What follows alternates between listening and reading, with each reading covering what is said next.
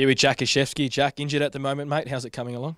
Yeah, good. I had um had a back operation about three and a half weeks ago. Had uh, bulged disc, so I had to shave away the discs. Um, bit different. Not used to. Well, you know, I don't, don't know many footy players that have had a back op, so it was going into it was a bit nervous, but um, it's coming along well. Started my rehab program, which is all right. A big 2019 season for yourself. Reflecting on the year, what were you most proud of? Um, I thought I played pretty consistent footy.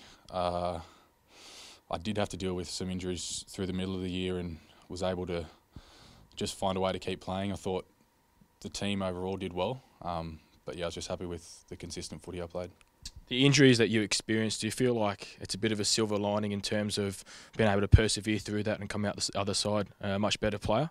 Um, I remember when I was training in under 18s, we had um, Graham Eadie as our coach, and he said that you're probably never going to play a game not carrying injuries. So I suppose you're always carrying niggles, but you've just got to find find a way to overcome them and just yeah, just get, make sure you get on the field and do the best you can each week. Here at Emerging Blues Camp, what are you hoping to get out of today?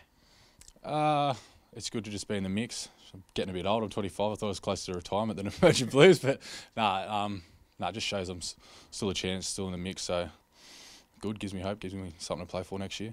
How much confidence does, it, does that give you, knowing that um, you're getting recognised by Brad Fittler as a potential future Blue? It must give you confidence moving forward into next year. Yeah, hundred percent. It shows that you shows that you're close. It shows that they're obviously thinking about you and having a look at you. So um, doesn't put. I don't think it put pressures on you. It's exciting for next year, making sure that you play good footy, knowing that they'll be watching. You enjoyed a really good year, but what are your goals for 2020?